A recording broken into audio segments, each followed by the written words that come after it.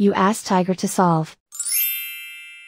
This deals with linear equations with one unknown. The final result is v equals 60. Let's solve it step by step. Swap sides. Isolate the v. Multiply both sides by 6.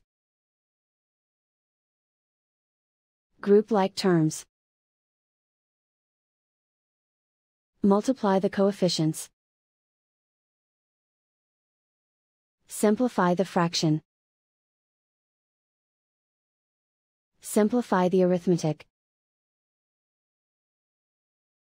And so the final result is v equals 60.